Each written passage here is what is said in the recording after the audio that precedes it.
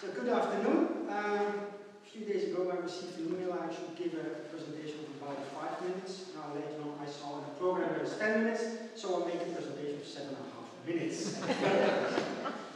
um, who am I? The first one. Hi, hi, hi. That's it. Uh, so my name is Eric. I'm a person with bipolar disorder, so I know exactly what uh, depression is and what depressive symptoms are. Um, let me talk a little bit about the implications for EU citizens and patients. First of all, very short, uh, briefly, who I am or what I am representing. I'm representing GAMIAN. GAMIAN Europe is a patients organization, an umbrella organization. We have about uh, 40, I think 40, 45 national organizations spread over in 25 countries. We have strong partnerships with different uh, European level organizations. As you can see, we're not only uh, patient organizations, people with depression, but with different kinds of mental health issues, as they are bipolar uh, disorder, ADHD, uh, eating disorders, and so on and so on. Good. What do we do as an organization? We do some advocacy work. We make edu we give education information about national patient organizations as I said, we have partnerships, networking, you see okay. Uh, with different uh, European organizations as well. And uh, we do a lot of information exchange and also uh, we build on strengthening our organization. Good, there are a few examples. We have an interest group. Uh, this is an interest group meeting uh, on mental health. we have four years, four times in a year, we have a platform at the European Parliament. I have to go later there as well. Good. That's Okay, so just a few words, briefly, briefly about GAMIAN Europe and its, uh, would say, its work or its participation in multiple projects. Uh, apart from a patient or an ex-patient, I'm also a EU, uh, EU sorry, citizen.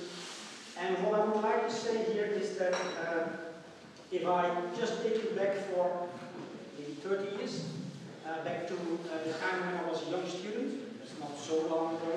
Uh, I can still hear my mother saying, okay, if you eat fish, you become clever, and you can study very well.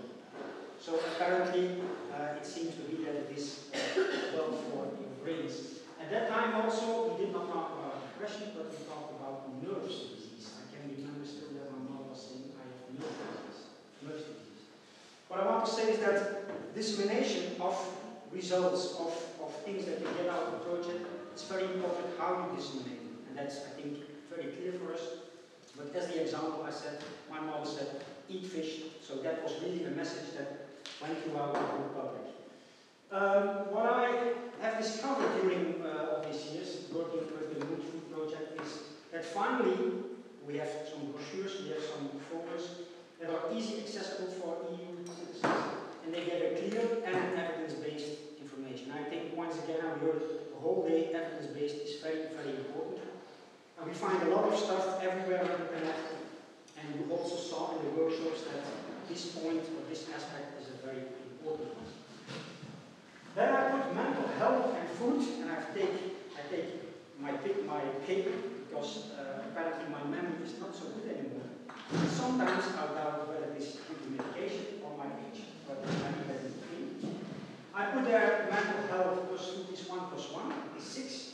Uh, first of all, of course, you heard the whole day that uh, food is related to mental health, to depression, to depressive symptoms.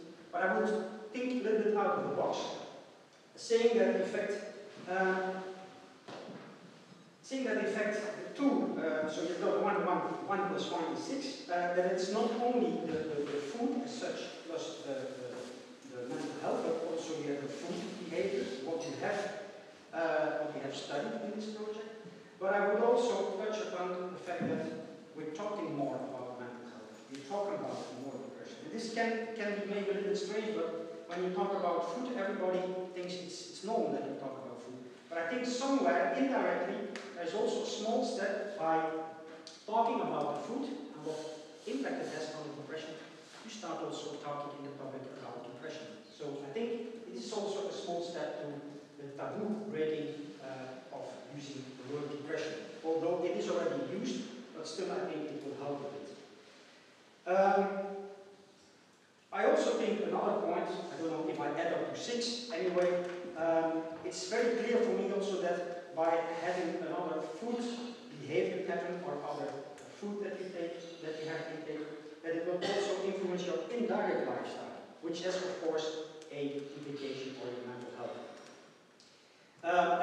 also touched upon, that's then for me number six, that is, and I was very surprised, I was very happy to hear that also the environmental impact is taken into consideration, because I think also if the environment is healthy or is good, we will be healthy as well. Good.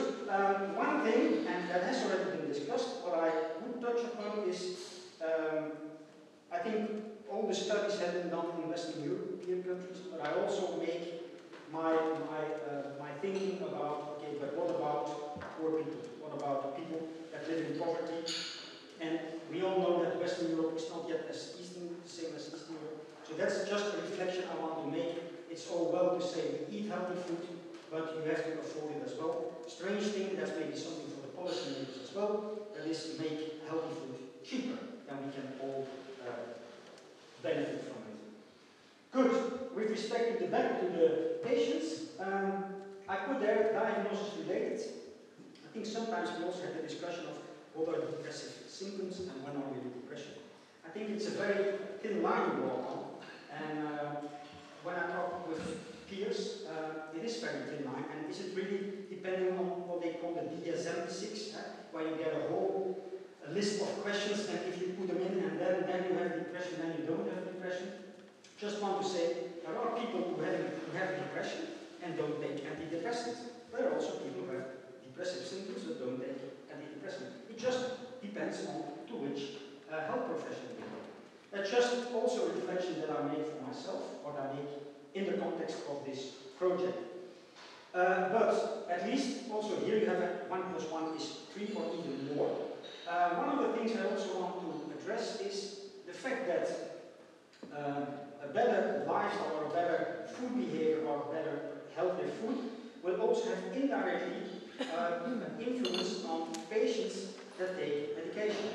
Because one of the things that, one of the, yeah, one of the things that uh, causes that people are not adhering to the medication is, for the side effects, which is most of the time overweight.